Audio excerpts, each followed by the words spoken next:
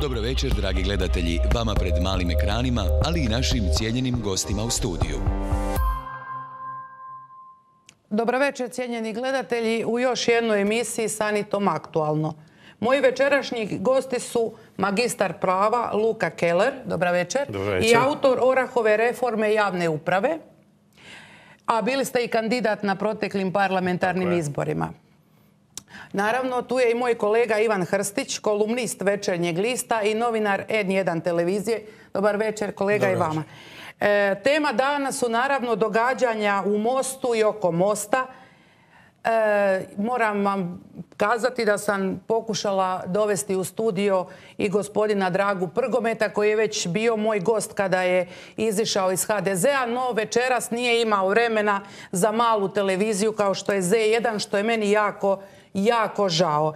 E, pogledajmo zajedno e, kako je izgledala kako je izgledala jučerašnji dan u Mostu, kako je sve započelo, a kako je sve završilo.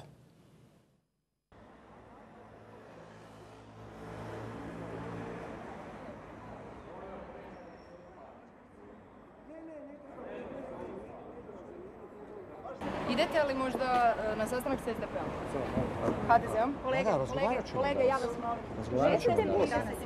Hvala vam lijepa. Hvala vama. Hvala vam. U 16.30 je preskonferencija. A ne mrete ništa da Dođite na preskonferenciju. U 16.30 SDP-om na sastanak. Vidimo se. konferencija, vidimo se. A gdje sada idete? U Slastića. Idemo na, idemo na pić. S kime? Idu na ručak sa, oni međusobno. Hvala vam.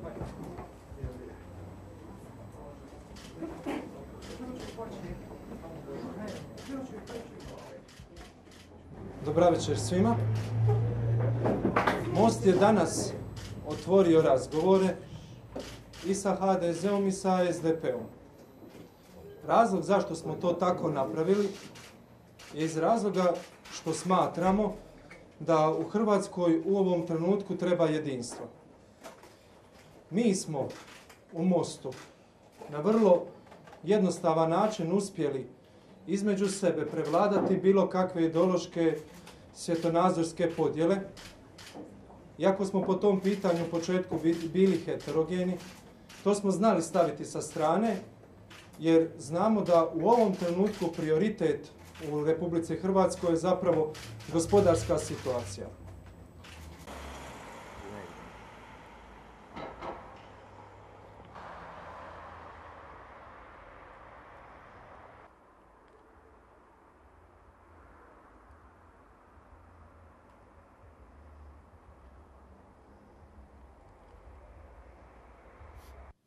Evo, malo smo se nasmijali na ove snimke naše kolege Igora Petrovića koji ima ekskluzivne snimke ovog tajnog sastanka. Malo da, da, malo noćnih razgovora kod Kotromanovića u stanu.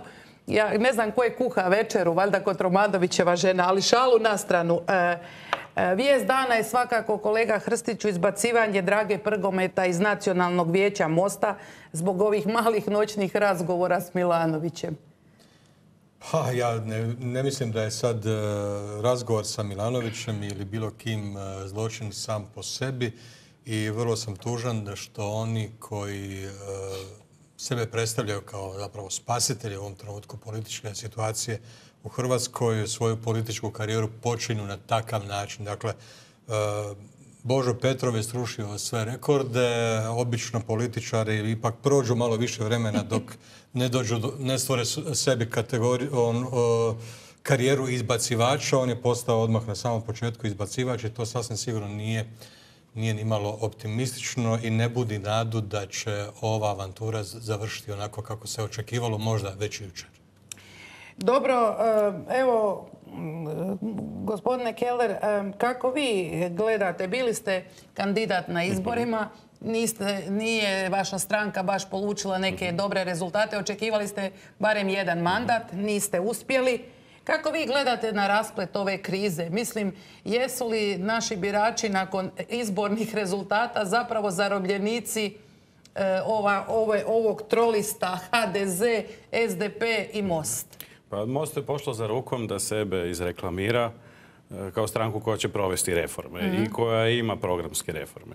Međutim, e, u Orahu smatramo zapravo da smo mi ta programska stranka, jer smo izbacili 40 programskih politika i ova reforma javne uprave koju smo predstavili u desetom mjesecu je zapravo bila kruna svih tih Je. politika. Kad smo već kod te reforme, vi tvrdite da je ova reforma javne uprave kojom se kiti most zapravo vaš, vaš, Mhm. Tako vaš je. rad. Tako je.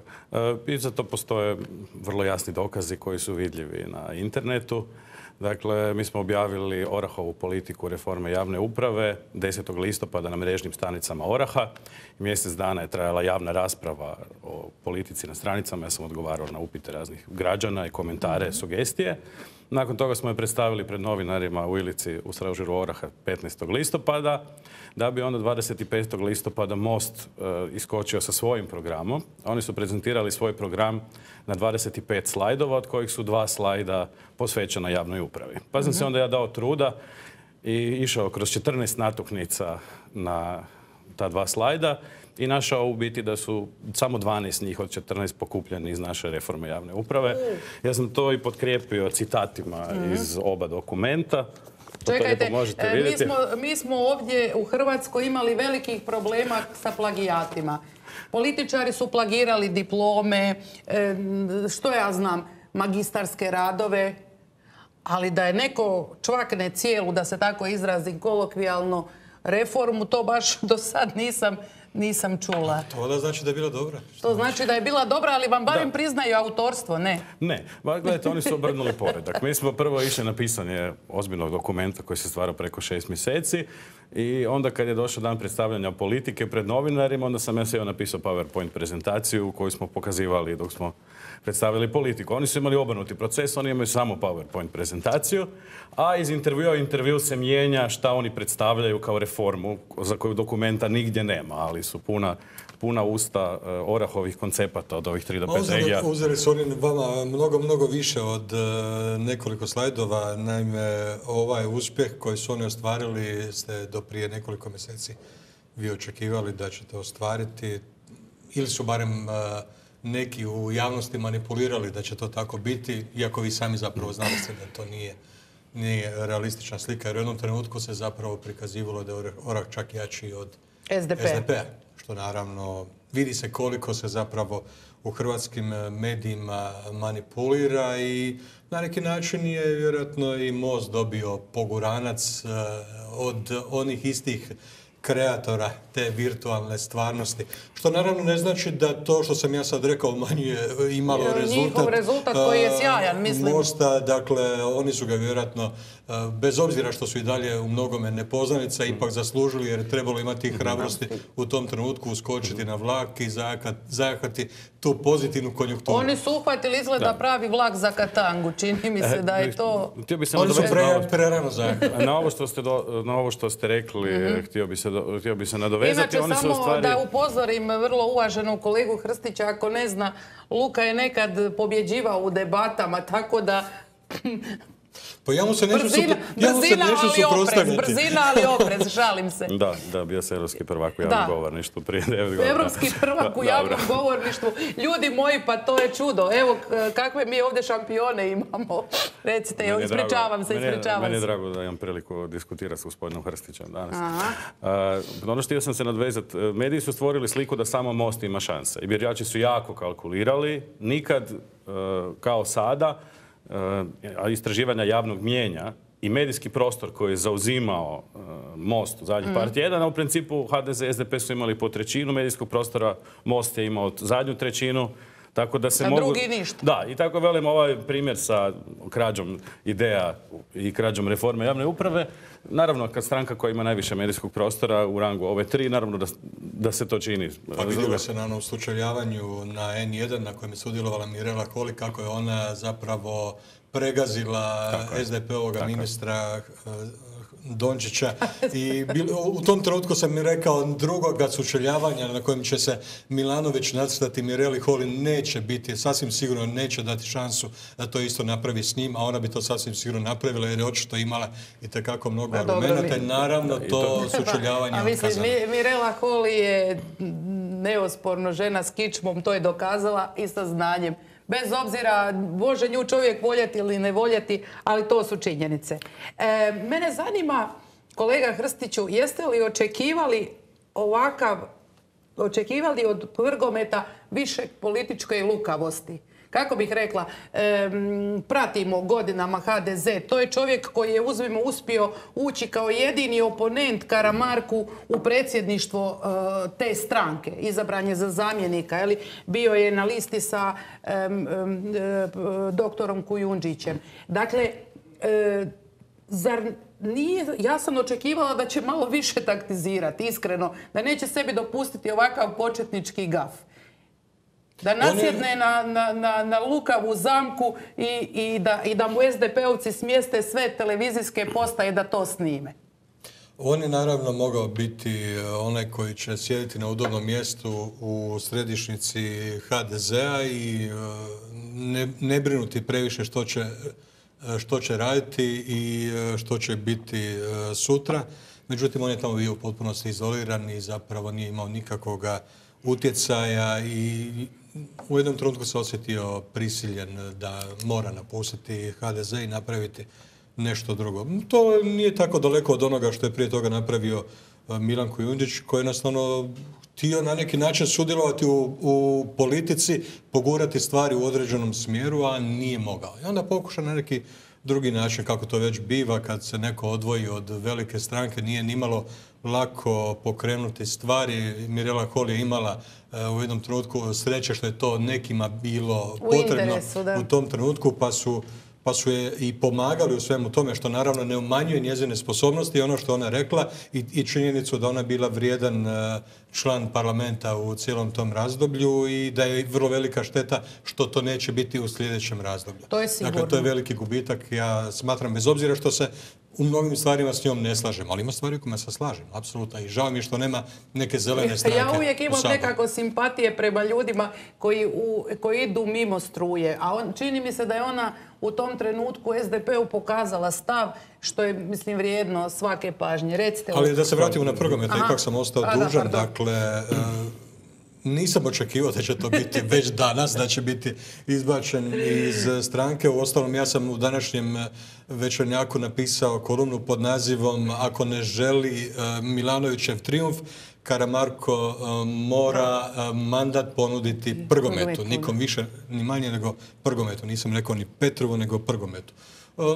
Možda i to je jedan od kamenčića koji su pomogli ovom izbacivanju Prgometa iz stranke, jer se nekima učinilo vjerojatno da on previše, previše e, želi u tom, e, u tom trenutku. E, samo sam htjela reći, recite Moja bi se nadovezao ove dvije stvari. Znači, Mirela Holy je pokazala dosljednost i zapravo pod njenim vodstvom Orah zabilježio neke bitne parlamentarne pobjede. Jedna je blokiranje projekta bušenja nafte u Jadranu svakako. Druga stvar je legalizacija konoplje u medicinske svrhe gdje se mnogim ljudima u patnji dalo veliku pomoć u Hrvatskoj. A ono što sam se htio nadovezati na vas u vezi Drage Prgometa. Drago Prgomet je već drugi puta u godinu dana u velikoj važnoj stranci bio igrač broj dva i procijenjen od svih i od javnosti i od stručne javnosti kao kompetentniji od igrača broj jedan. A na kraju? I na kraju je opet, opet izvan, izvan stranke. igra još apsolutno nije gotova. Ono što se, danas, što se danas piše u novinama, mm -hmm. je to apsolutno pogrešno. Dakle, da on ima namjeru odvesti, ne znam, 5, 6 ili 7 zastupnika u Milano i na taj način pojačati Milanovićov e, mandat e, za premijera. Mislim da je to apsolutna, apsolutna fikcija, da to ne bi napravio nikad. E, htjela sam reći sljedeće. Drago Prgomet je čovjek zavidne karijere, mislim, ugledni je liječnik, e, mislim čovjek je bio u ratu, napisao je knjigu o tome, e, vrlo je omiljen e, u dijelu javnosti svakako i on je pokazao kičmu i suprostavio je se jednostavno HDZ-u, nije čekao čak ni da ga izbace, sam je izišao. Mislim da je to... Ne bi ga izbacili, a da je, šutio i sjedio. Ali dobro, u svakom slučaju pokazao je neku vrstu otpora, kako bih rekla. To kod ljudi izaziva simpatije. Sad, što možemo? Takva je situacija kakva je. U pad smo poziciji. HDZ je dobio tri mandata više na izborima od SDP-a, međutim SDP-u se priklonio IDS, to je sad je izjednačeno. Manjine su se priklonile u ovom trenutku e, SDP-u. Manjine se nisu priklonile SDP-u, mislim da je to također fikcija. Isto fikcija. Onda, Možda će se manjine, prikloniti onome ko dobije priliku sastaviti vladu. Manjine su po defaultu uz, onoga ko je na vlasti, ako, je, ako taj njima da minimum onoga što Ali ajde sad uzmimo ovako. To je problem, jer troje manjinaca jesu iz SDP i HNS-a. Znači možemo očekivati. Ajmo reći, i tri, Srbi, tri srpske nacionalne manjine su rekli da, da, će, da će biti. Dobro, ne, oni su rekli da su skloni toj strani, ali isto tako da su skloni vlasti. Što je normalno za onoga... Uvijek su bili. Pa nije, nije, to, nije to ništa e, loše, nije to ništa, ružno. E, mene samo sad zanima ovako. Postoje tri scenarija. Dakle, jedan je novi izbori. Zapravo ponavljanje izbora. Drugi je da most kompletno mora preći HDZ-u da bi HDZ ostvario, Nije, a sad to smo upravo rekli. Dakle, ako smo srušili ovu matematiku u prethodnim rečenicama, ona nije održiva. Dakle, ne možemo automatski manjince uračunavati kao one koji podržavaju SDP. Dobro. Ne možemo. Okay. Manjinci idu sa, idu, sa vladajućima da zaštite svoj interes. Tako je. Ako su ti vladajući spremni I onda imamo treći scenarij da ide most ili dio mosta sa SDP-om. Šta je od te tri opcije izgledno sam Bog zna. Naravno, niko od nas nema kristalnu kuglu, a u Mostu još manje znaju nego što znamo mi ovdje. U, da, kristalna kugla na, televizijama iza 11 sati, 12 sati. A ono, vidoviti Milan i to. Dobro. Dakle, mislim da se sasvim izgledno može nagađati o tome da most nije jedinstven. Dakle, ne možemo govoriti da se most neće raspasti kad, je, kad su prve podjele već nastupile, kad su već izbacili I glasnogovornicu. čovjeka i glasnogovornicu na, na samom početku. Dakle, to nisu obećavajući potezi. Sasvim sigurno ima među njima još oni koji dijele e, prgove, prgometovo mišljenje. To ne znači naravno da će oni poletiti za njim. I Ali on je čak izjavio večeras e, gostujući e, u dnevniku Hrvatske televizije da, da ga čak i manda, da mu nije problem čak da razmišlja o tome da vrati i mandat. To je bilo u jednom trenutku, naravno, ali on je taj svoj mandat dobio... na izborima. Dobio na izborima, ali na svoj vlastitoj listi. Dakle, to je bila njegova lista koja je bila u koaliciji Mosta nezavisnih lista. Dakle, jedna od nezavisnih lista je bila njegova. koja je postojala i prije toga. Dakle, da, da, da. Nije, nije, ne može se reći da je Most isključivo zaslužan zato, iako vjerojatno jednim velikim dijelom jest.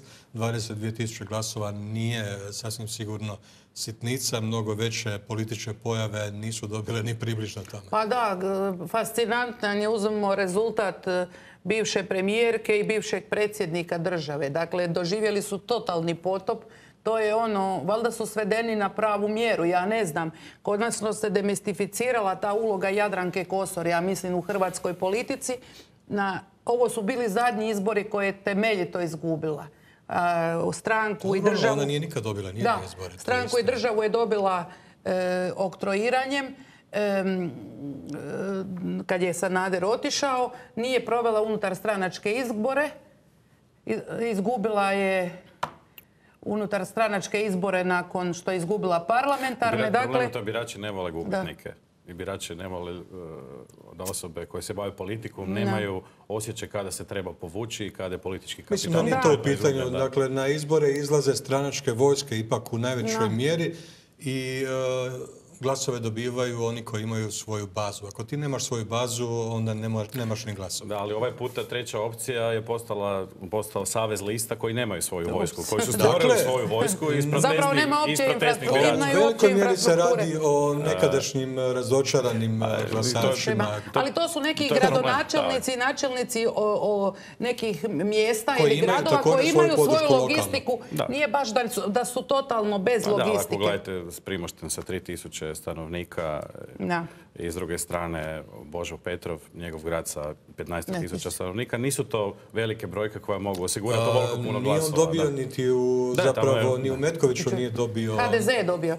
Ali e, mene zanima, ovaj, zanimljivo je to, uzmo Božo Petrov je psihijatar.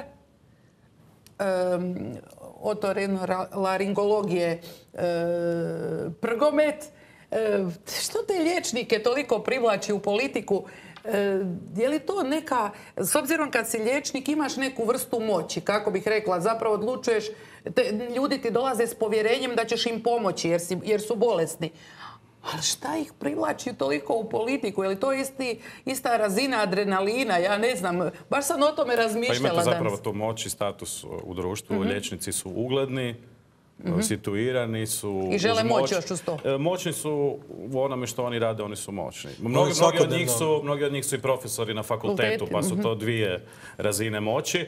I onda je logično da otvaraju treću arenu. Oni svakodnevno sreću jako mnogo e, ljudi, onih malih i velikih i široku lepezu po važnosti i sasvim sigurno e, mnogi su im dužni usluge tijekom te karijere e, imaju svoj status e, i ovo je zapravo kruna tog statusa. Imaš polugu koju možeš ostvariti mnogo toga što neki drugi ljudi ne mogu tek tako. Dakle, ako ti želiš uskočiti u politiku, to nije tako jednostavna stvar, a doktor je na neki način u doticaju s tim e, cijelu svoju karijeru. E, sad mene, ajmo malo skočiti opet na ovu ja, reformu, reforme, Hvala reforme, reforme. Ne, ne, morat ćemo se još malo vratiti na HDZ, na SDP i tako dalje, ali i naravno gledatelje e, moram izvijestiti da se danas također mogu javljati u našu emisiju u zadnjem dijelu emisije, kao i svaki četvrtak, osim kad su bili izbori, je tad nismo imali uključivanje. Dakle, e, vi ste autor ovog teritorijalnog ustroja pet regija, 50 do 100 gradova, 50 e, gradova i 100 ili do 150 općina. Tako je. Jel vi mislite da, da je moguće to provesti u Hrvatskoj s obzirom na dvije velike stranke čiji uhljebi su u tim lokalnim jedinicama kad mhm. se izgube vlast? Pa postoje dva načina da se ta reforma provede. Jedna je kroz parlament, a druga je kroz referendum. I pokazalo se da se na referendumu, na referendumu se može promijeniti i ustav. Neću ulaziti u temu. Mhm. E, ono što je bitno je da imamo 20 županija, od kojih 17 posluju sa gubitkom, koje se pune iz državnog proračuna, koje su mhm. potpuno neodržive. Mi na 4 milijuna ljudi imamo 429 općina koje su neprirodno skrojene, koje su fiskalno neodržive jer su premale, a imamo taj teritorijalni ustroj zato da bi bilo jako puno radnih mjesta za ove ljude iz stranačkih vojski koje smo mhm. malo prije spomenuli. Otpora će biti, velikih otpora će biti reformi, ali bit će i velike podrške. Na Večernjakovom portalu objavljena anketa da 85% građana podržava ukidanje županija i uvođenje pet regija. Uh, u našem dokumentu... E, recite koje bi to regije bile. Dajte pa, malo, možda ne bi bilo loše zbog naših gledatelja. Nisam baš uvjeren, ali dobro. Možemo uh, dakle, nekom prvo izneseti to pa ćemo Pet regija uh, su složene po načelu približnog broja građana, uh znači otprilike između 800 i 850 tisuća i da se poštuju geografski kriteriji, nekakve kulturni, povijesni i gospodarske cijeline. Dakle, najlogičnije regije su istočna regija ili Slavonija i južna regija, odnosno Dalmacija. E, sjeverna regija bi u stvari bila, sjeverna ili središnja regija vam je u stvari okolica Zagreb, pa, pa u stvari sve gore do Varaždina i Čakovca, ovaj cijeli kraj. Zagreb je posebna regija i peta regija je Istra, Istra, Kvarner i Gorski Kotar. I u javnoj raspravi zapravo najviše bilo upito vezano za regije, vezano uz Istru. Da li za ukidanje Istarske županije. E, logika iz regija je ta da regije mogu privući puno više novca iz EU, fondova, jer su puno veće jer pokrivaju velike cijeline. Mhm. Tu bi Dalmacija mogla uzeti milijarde za mhm. ribarstvo, za turizam. E, zapadna regija također, Slavonija za poljoprivredu i sjeverna regija također. E, istovremeno, to što ćemo Zagreb maknuti iz regija, e, Zagreb ima e, previsoke, previsok standard, previsoke plaće, da ako bi stavili bilo koju mhm. regiju, onda bi blokirali sredstva iz fondova mhm. za, za te mjesta koje bi bile unutra. Sa druge strane, prednost je što ne bi bilo kočničarenja. Znamo da je u, da je u Hrvatskoj jedna strana ima većinu županija, a druga strana ima većinu velikih gradova u županijama. Mhm. Za neke projekte je potrebna suglasnost kojih nema, jer svako vuče na svoju stranu. Na ovaj način bismo i to preskočili. E, drugi element reforme e, je ukidanje gradova. Hrvatska ima 127 Gradova. gradova. Većina tih gradova ima do 5000 stanovnika i od 5 do 10.000 e, stanovnika. Na ovaj način bismo reducirali broj gradova na 50. 77 gradova kojim bismo ukinuli taj status, njih bi stavili, rasporedili na način da se svaki od njih nađe u jednoj od ovih novoformiranih 100 općina, 100 do 150. I sad tu bi bila jedna nova demokratska mjera na dijelu. Pustili bismo općine u prvi godinu dana da se dogovore tko će ići s kim. Poticali bismo da se općine same udružuju, okrupnjavaju i da se smanji njihov broj. Dobro. Sad, mene Sve to lijepo, ali Da. Mene zanima sljedeće. Jesu li ovi izborni rezultati dobra vijest za unutar stranačku demokraciju u HDZ-u i SDP-u? Pa jedino ako nešto od toga na koncu bude, ali, ali ako bude samo avantura, mjehur od sapunice koji će se rasplinuti preko noći, a ciljam na most, onda od toga neće biti ništa. E, most je doista kao pojava bio jedna fascinantna prilika, povijesna prigoda da e, se neke stvari riješe, pa i ovo što smo malo prije e, spominjali, ali u ovom trenutku više nisam e, po tom pitanju optimist. Ovo što smo malo prije čuli, zapravo i vi niste prvi koje su to uveli, to su čak u programu predsjedničkom imali Milan Kujundžić, pa i Ivo Josipović čak Josipović, da. e, djelomice s tim. A ja bih posjetio isto tako na referendum e, koji je Željka Markić provela, koji za- zapravo naslanja na to, jer oni uvjeti koje ona e, predložila za mijenjanje izbornog e, Sustava. sustava se upravo svode na to. Dakle, jedino, jedini način na koji bi se moglo napraviti ono što ona predložila je i bilo bi upravo da se stvore ovakve regije, ovakvih, ali, da, ovakvih da. veličina kako ste vi sad Ali ovo nije točno. E, Reforma javne, reforma javne uprave za koju se zalagao Ivo Josipović je bila po estonskom modelu. A mi smo Ne, išli po danskom ne, modelu. ja ne Znači, kažem da to bilo isto, naravna mislim, stvar. Da se razumijemo. Danska je ne? primjer, Ni- po niti su- veličini primjerena Hrvatskoj. Niti su Kujundžić poziva i Josipović Da, imali ne, isti program, dapače. dapače. Dobro, e, možda e, prije, prije male stanke e, da možda prokomentiramo stanje u rezultate i očekivanja u HDZ-u. Možda da nam i režija pusti malo atmosfere koja je bila tada u, u HDZ-ovom izbor, izbornom stožeru. Evo, HDZ pod Karamarkom dobio čak e, troje, četvore izbore i očekivali su pobjedu i na ovim izborima. Međutim, to prije šest mjeseci je to izgledalo sasvim e, gotova stvar, međutim stvari su se preokrenule. E, kako ocjenjujete sadašnji položaj predsjednika HDZ-a? On je naravno djelomice ugrožen, iako zapravo e, ne može se sad njemu prigovoriti da napravio neku e, veliku pogrešku, e, nešto mimo onoga što je se od njega očekivalo, ali mnoge stvari propustio napraviti. Istina je da je Zoran Milanović ovaj put doista ništa, apsolutno ništa nije prepustio slučaju, da nije žalio novca SDP-ovog, niti novca poreznih obveznika kako bi e, to ostvario. Istina je da je vodio najprljaviju moguću hajku protiv Karamarka, ali isto tako je istina da Karamarko nije imao apsolutno nikakvog odgovora na to. Jednostavno, on nije e, znao što napraviti, na koji način odgovoriti na te objede. Ne može se, ne može niko mene uvjeriti da je e, ono što e, Milanović govori da je Karamarko najcrnija desnica, da je on crnokošuljaš i, i, i tako dalje. On jednostavno to nije i to ne može biti niti najveća hrvatska stranka. On je čak negirao da u Hrvatskoj postoji konzervativna opcija. Za njega su sve to bili naj, najcrnija moguća desnica, Ali u isto vrijeme je fašisti, nacisti i tako dalje. Ali mu nije smetao, ali mu nije smetao glavaš koji, je- koji bi mogao se naći e, da, je- da mu je doista trebao, ko zna, možda bi mogao ući u vladu. Da, mislim, tu je, gospodin Milanović je proveo hajku i na stranke ljevice. A plašeći ljevo biračko tijelo sa nekakvom napasti. On sa se druge- sa druge kao strane, jedini tako mogući zaštitnik i u tom trenutku je Mirela Holy postala suviša. Dakle, više nije imala što tražiti u trenutku kad su e, svi s lijeva bili uplašani od najezde crne desnice. Jednostavno su svi stali pod njegov kišobran, išli na e, izborna mjesta i glasali za njega. Dobro, evo ja predlažem kratku stanku e, i onda se odmah vraćamo i naravno cijenjeni gledatelji vi se možete uključiti u našu emisiju.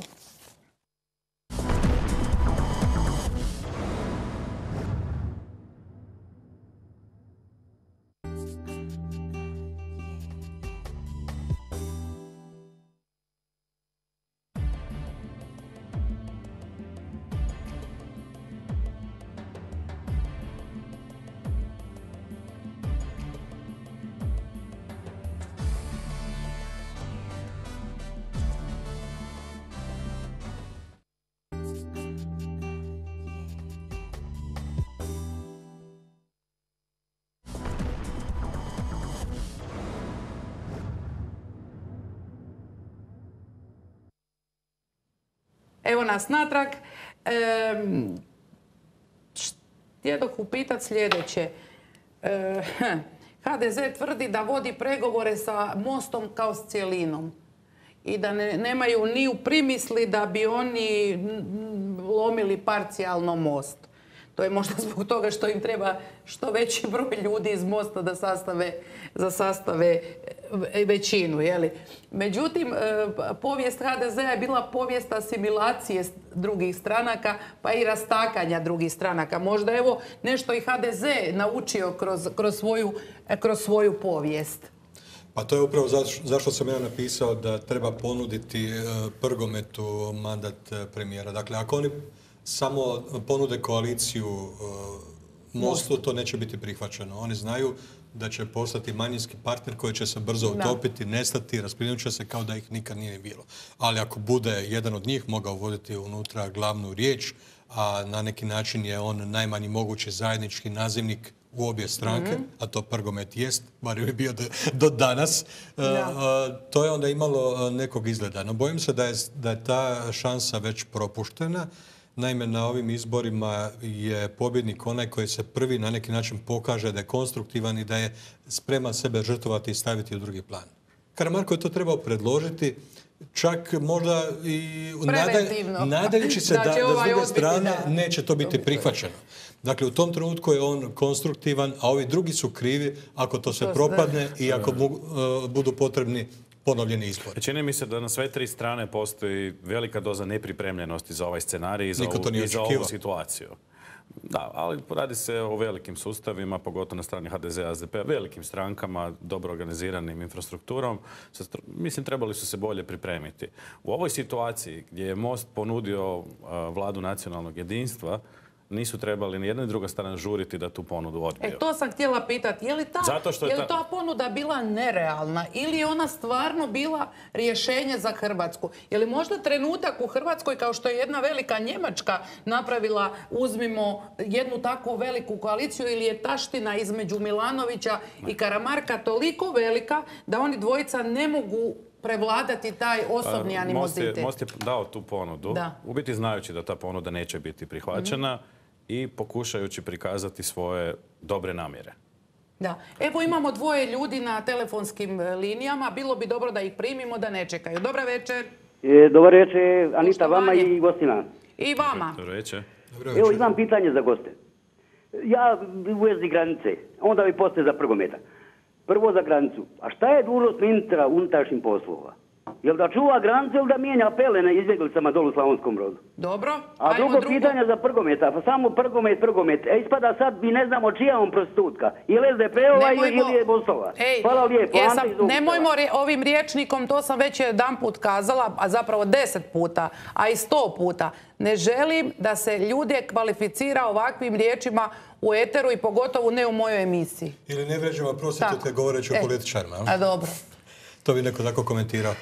Pa što se tiče granice, naravno da, se, da je Hrvatska imala svoj interes da ti migranti što brže ulaze i odlaze, ali problem je naravno što je, bojler. što je s tim srušila sva, sva moguća europska pravila, iako se ne može Hrvatsku optužiti jer prije toga su to radili i drugi. To radili i drugi. Dakle, Hrvatska je samo jedna u nizu, ali ipak trebalo malo više odgovornosti prema vlastitoj granici. Ipak je trebalo barem nekakav pokušaj napraviti da se to odvija po nekakvom normalnom, zanimljivo je, Zanimljivo je kad je predsjednica kazala da kad Njemačka digne ručnu, da će doći do, do lančanog sudara.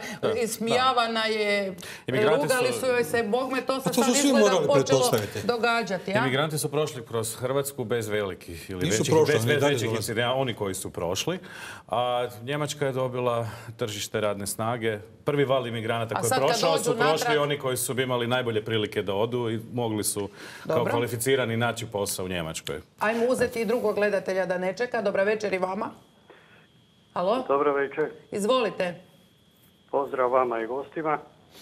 Gospođi sam samo htio reći da je Karamarko pobjednik i ovih izbora. Pa ja sam rekla da je pobjedio sa tri mandata više. Ako niste to čuli, meni je jako žao, ja sam kazala izrijekom da je Karamarko dobio tri mandata više od SDP-a.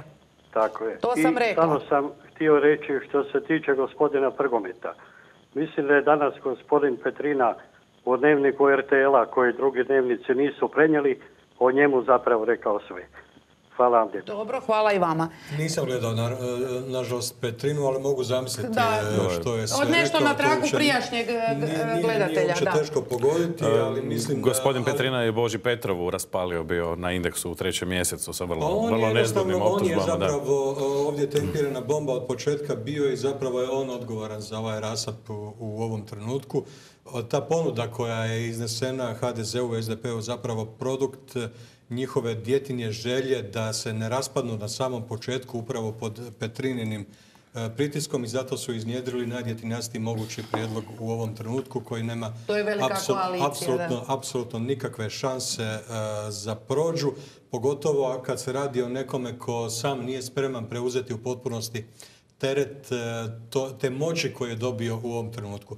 Kad bi HDZ i SDP htjeli to što oni predlažu, onda im most doista apsolutno nije potreban. E, ono što oni moraju jednostavno preuzeti odgovornost prema svojim biračima i naći onoga koji će doista pristati na sve njihove uvjete, prihvatiti njihov e, program i da oni mogu doista to u potpunosti kontrolirati. Kada bi se napravila velika koalicija te tri stranke, Hrvatski sabor ne bi imao smisla. Jer u Hrvatskom saboru više ne ne bi bilo opozicije. Jer biste zajedno u vladajućoj koaliciji imali 130 mandata. Evo imamo još dvoje gledatelja. Dobra večer i vama. Dobra večer. Poštovanje, izvolite. Ja imam pitanje za gospodina Milanovića. Prije dva tjedna je tukao šakama u sto i zvao Hrvatska, Hrvatska i sa zastavama je priplavio njegov stožer. A što je bilo na izbornoj noći, ni jednu zastavu ja nisam mogao vidjeti u njegovom stožeru. Dobro. Na koju on e, kartu igra? Brown je zaboravio spomenuti, nisu se sjetili. Pa nisu podnijeli. Dobro, imamo još jednog gledatelja. Dobro večer. Izvolite. Dobro večer, lijep pozdrav vama i cijenjenim gostima. Ali neka iskreno odgovore da li sam ja možda u krivu. Da, da se ujutro, da ovoga časa se neko predlože da bude predsjednik vlade Petrov, gospodin Petrov. Ja mislim da ne, da bi on odbio. On je uplasen. On nema snage da bude predsjednik vlade. Nije to Metković. On sad zna o čemu se radi. On bi sve skupio sada, da ne bi trebalo ni oporba biti, ni ništa ne bi trebalo biti, samo da on bude kao da je to insinuirao, ali on nema snage, on ja to, ja to tako vidim. A on je krasan čovjek. To je pet, daleko od toga. Uopće negativno nema boda. A Karamarko, gospodin Karamarko, ja mislim da on treba samo ovako kako je počeo, sada neka i šuti. A sad ću vam reći zašto. Moje mišljenje.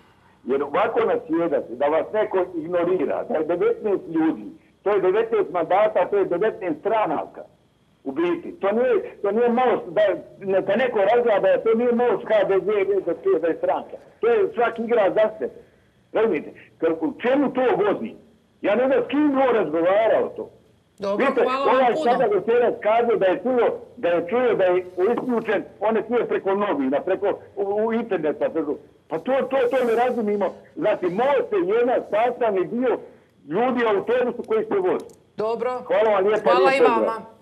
Evo vidite kako gledatelji reagiraju različito. A zanima me još nešto, kolega Hrstiću, Nisu, nisam baš primijetila puno da su mediji to analizirali. Zoran Milanović je 2011. imao 82 mandata. Ne samo SDP, nego cijela ta koalicija imala 82 mandata.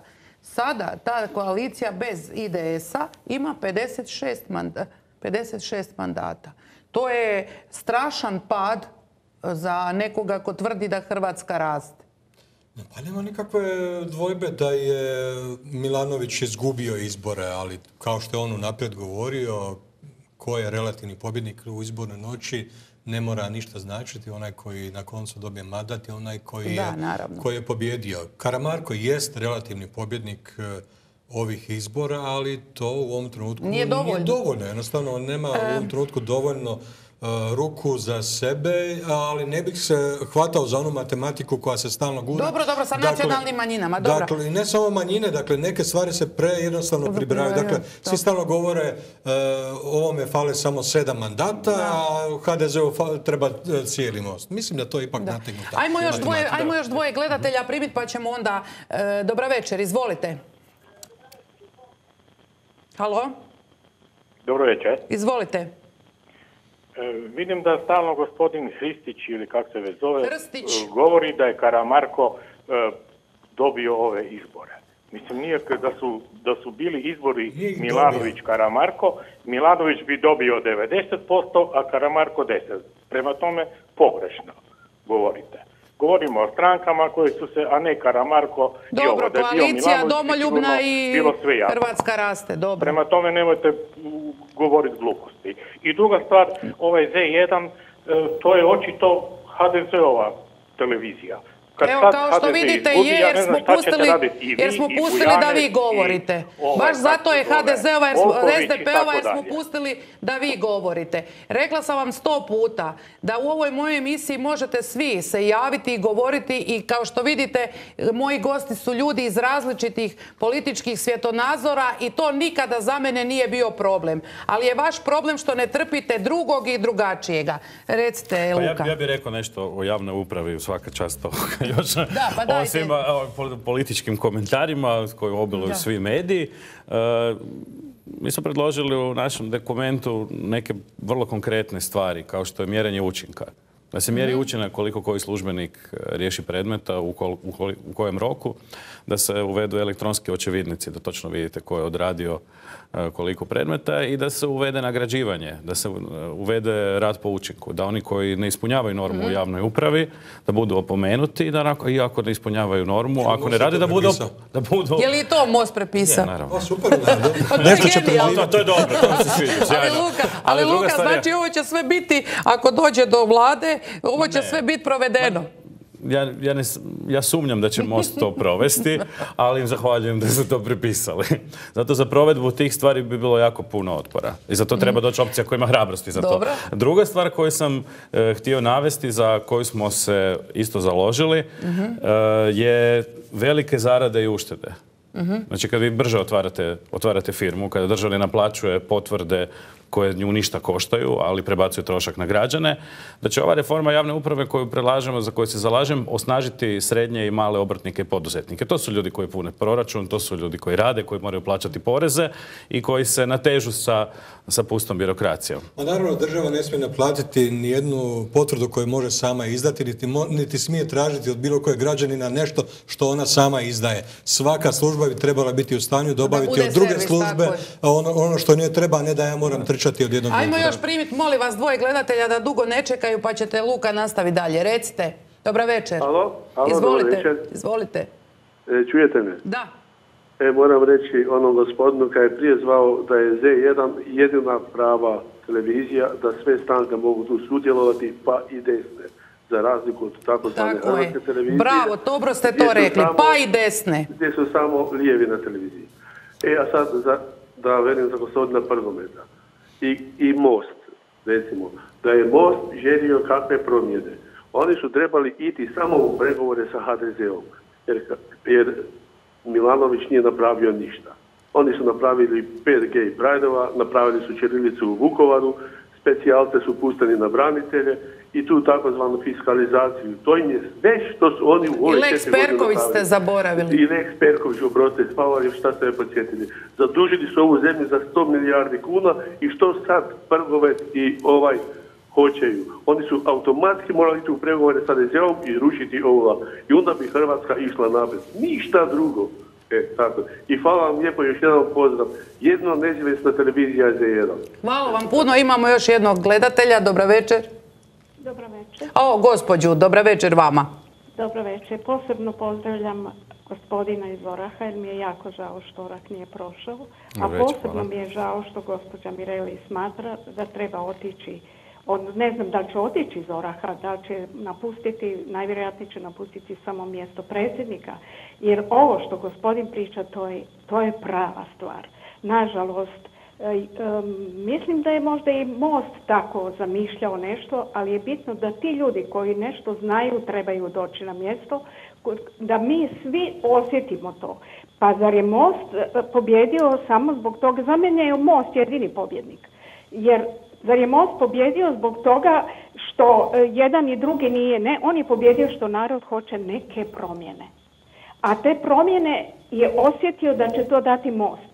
Orah je isto to imao. Nažalost, nisu bili dovoljno jaki da se izvuku, a mislim da je zato i što je žena na, na, na čelu toga.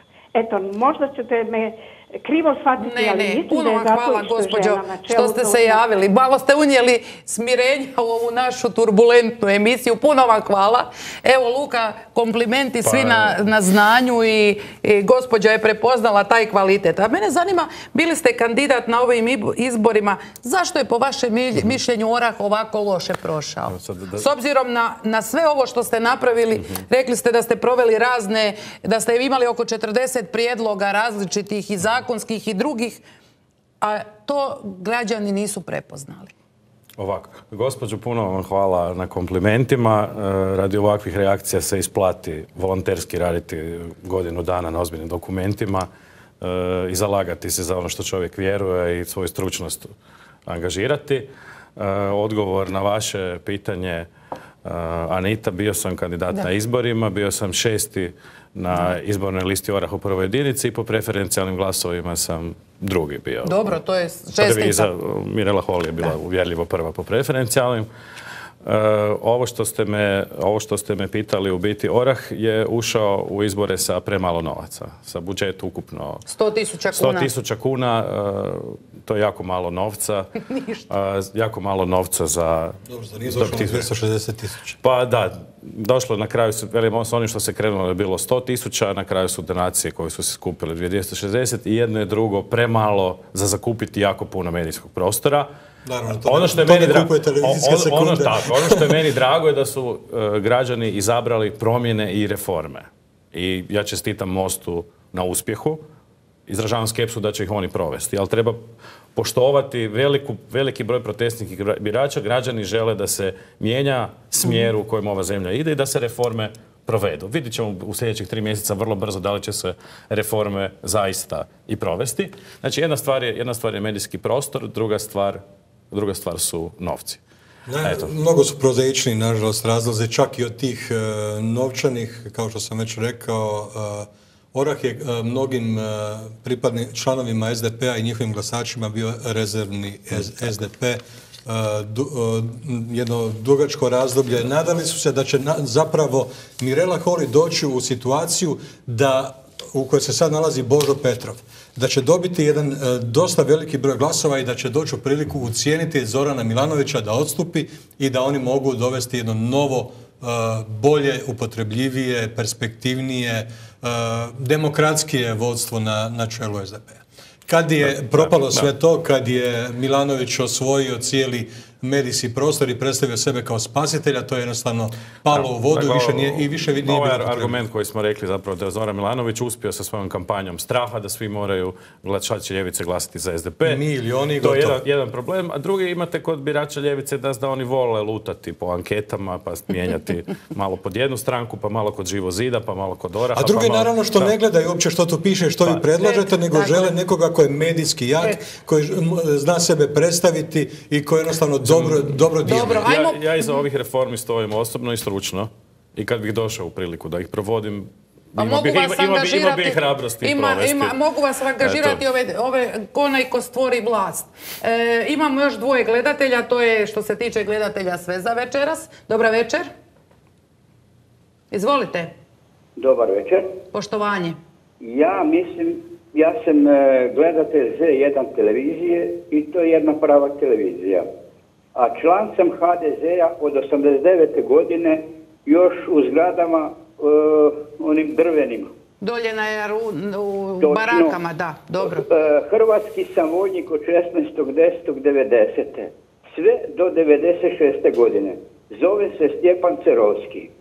Karamarku zamjeram. On je trebao prvo u startu ponuditi drugog čovjeka i to jest gospodina Plenkovića koji bi direktno direktno njih ubio u mozak. Točno. Dobro. I to je moje mišljenje kao člana HDZ 25 godina. Puno vam hvala što ste se imenom i prezimenom javili. Na ovaj način su mnogi razmišljali. Dajte da uzmemo još jednog gledatelja pa ćemo onda to prokomentirati. Dobra večer. Dobra večer, lijepi pozdrav. I vama. ja ću reći svoje ime, ja sam Frane. Gospođa Anita, Reći ću recimo nešto u vezi e, Z1 televizije i nešto ću reći u vezi ovih izbora. U vezi Z1 televizije ima već bila bi sreća u Hrvatskoj kada bi sve e, ovaj, nacionalne televizije imali ovakove programe kao što imate vi na Z1. I da svi mogu stupiti i razgovarati sa onima koji su u studiju, a ne onako kao što su kod drugih gdje je sve zatvoreno, blokirano i ne možete doći da se glas naroda čuje. Puno vam hvala vama i svima drugima koji to radite na Z1. Hvala vama što se vi javljate u naš program. Recite. Evo, i sada bi bilo pitanje i moje mišljenje u vezi ovih izbora. U vezi ovih izbora moje mišljenje da je da, da nakon ove četiri godine su se izbori održavali da bi narod pokazao da želi promjene. Bilo sa Mostom, bilo sa HDZ-om i to je bila logika da tako se krene u ovo sve skupa. Međutim, do toga pameti nije došlo jer oni koji su osvojili 19 glasova, ja njih cijenim i sve skupa, ne 19 glasova, 19 mandata, oni se ponašaju kao kad, kad čovjek dobije iznenada sedmicu, super sedmicu na lotu i sad ne zna što će. Ili će početi uživati i hedonista biti, ili će sa vrijeme sjest i početi, na primjer, razmišljati kako to, na primjer, novac, kako uložiti i tako dalje. Oni ovoga nisu svjesni. Ja mislim, ako je poštenja, da će se oni ovaj, ipak uh, pribrat. A što se tiče vašega gospodina iz Oraha, ja njega cijenim i ovo što je napravio, njegov program, ali gospodine imate jednu veliku grešku što se tiče regija. Nemojte Hrvatsku dijeliti na regije, nego smanjite broj županija, jer Hrvatska je bila podijeljena na regije i onda smo je morali spajati. A jedni jedva čekaju, na primjer kao Pupovac i, i, i ovaj, uh, ovaj uh, od Talijana, koji Pazimo samo na riječnik. Radin, radin. Non stop šuruju sve skupa kako bi komad ili koju regiju iz, iz Hrvatske očupali. Zato budite pametni, nemojte da vaše dijete ili unuče mora opet Hrvatsku spajati jer ju vi dijelite na regije. Puno, vam hvala. hvala, lijepi Puno vam hvala što ste se javili. Evo, hvala našim gledateljima, oni uvijek začide naše emisije. E, Ivane Plenković kao e, da je bio Plenković umjesto Karamarka na čelu HDZ-a. Ali preduvjet za to je da Plenković u na legitiman način preuzme stranku. To znači na saboru stranke neoktroirano, to smo već gledali u slučaju Jadranke Kosor. Dakle, Plenković je u ovom trenutku činovnik u Briselu. Ali naravno ne mora biti premijer e, predsjednik stranke. Poželjno je da je, da je to onaj koji ima autoritet, koji ima taj mehanizam iza sebe da može se doista na svoju stranku osloniti, ali nije to uvijek e, nužno. Ali nije ja bio ni kandidat na izborima ja sam isto, ja sam isto u oči izbora rekao e, da je Plenković bio na tom mjestu da bi vjerojatno Milanović, bio pometen, ne bi, ne bi imao apsolutno nikakve šanse jer jednostavno on ne bi na, temelju Plenkovića mogao svoju strategiju graditi. Ona jednostavno ne bi, ne bi bila održiva. Ja s tim ne želim reći ništa loše o Karamarku jer mislim da je ta strategija koju je Milanović e, uperio prema njemu bila prljava i da je bila u potpunosti e, lažna i da jednostavno to ne ocrtava njegov e, stvarni karakter. Ali isto tako se vidi, on na tom mjestu nije imao šanse, a neki drugi jesu. Da je bio Plenković, danas bi potpuno drugačije razgovarali. Sasvim sigurno se Zoran Milanović ne bi ponovno vratio igru, a vratio bi se na, jednoga, na onoga gledatelja koji je prije toga isto tako rekao da je trebalo predložiti odmah Plenkovića ili nekoga mostu. Dakle, e, trebalo je odmah izići sa vlastitim prijedlogom. Odmah na neki način zavrtjeti most u svoju sferu i, i e, dati im e, prigodu da oni tu osjete da mogu nešto napraviti. U ovom trenutku su moment sile izgubili i ako dođe do raspadanja mosta, to je inicirao u prvom redu Zoran Milanović. On je taj koji ih u ovom trenutku gricka i napada, a ne HDZ. On, on će vjerojatno imati više šanse ugrabiti veći broj nego Karamarko i HDZ. Dva kratka komentara. Dakle, gospodin Plenković i gospođa Grabar-Kitarović su osvojili troje izbora. Oni su bili čelne osobe na tri izbora na koje je HDZ triumfirao. To su bili dva evropska i predsjednički izbori. ne, da, oni su bili, vas ispraviti, na prvim EU parlamentarnim izborima nije listu nosio Plenković, nego Dubravka Šuica. Druge je dobio Plenković, a treći, ali treći... E sad poanta je tome da su to osobe koje su prihvatljivije širem biračkom tijelu nego gospodin Karamar u ovom trenutku. Komentar e, gledatelju, puno vam hvala na podršci i na vašem komentaru. E, iz javne rasprave se artikuliralo da bi ova reforma ljudima bila prihvatljivija kada bi se regije žvale županije. Mhm. Kada bi ostao naziv županije, pa a bilo bi ih samo pet. Dakle, ako dvije spojimo u jednu, a da se zove i dalje županija, onda su ne, samo da ne, regije. Ne, bitno, bitno da ih je pet. da. Eto. Dobro, ali, da, se, da se ne zove ta, ili dvije ili tri, da nisu županija, nego, nego da, regija, onda je... Već je, već je po nazivu regije, nego što je smanjivanju broja jedinica. Na kraju završiti s komentarom, je li ovo prgometovo soliranje zapravo na neki način ipak osveta Karamarku, jer i HDZ-u, jer HDZ-u, HDZ-u vidi mene, jer su ga marginalizirali ipak dok je bio zamjenik predsjednika, pa neki kažu i ponižavali i to mi se ignorirali. kao preveliko pojednostavljivanje. Dakle, ne radi se tako, ne bih tako uopće razmišljao u mhm. tim kategorijama. Mislim isto tako da je on na jednak način bio spreman razgovarati sa HDZ-om kojemu je u svakom slučaju puno mhm. bliži i da nema uopće oko njega nikakvog razmišljanja o tome da dovede Milanovića na vlast. To jednostavno ne dolazi u obzir. Ono što bih ja želio naglasiti, zašto sad ja ovdje na neki način govorim protiv Milanovića. Smatram da onaj koji četiri godine nije uspio, onaj koji tri godine vodio državu u stagnaciju, čak i u još dublji minus nego što je bio prije i to u trenutku kada je cijela Europa napredovala i oporavila se od one najgore krize, da taj ne može biti nagrađen. Da, to, da taj završni umjetnički dojam ne može opravdati sve ono što je bilo prije. A ovi sad, ruka na srcu. I ovi sad pozitivni pokazatelji gospodarski koji imamo, to nisu proizvodi njegovog rada, nego proizvodi pozitivne konjunkture u Europi. Dakle, Europa raste i Hrvatska jednostavno ne može ostati na jednostavno mora ići dalje vuče Europu na samom smo kraju emisije. Gospodo, hvala vam puno što ste bili večeras moji gosti. Hvala vama. Cijenjeni gledatelji, hvala i vama što ste večeras sudjelovali u našoj emisiji. To je bilo sve za večeras. Vidimo se sljedećeg četvrtka. Laku noć.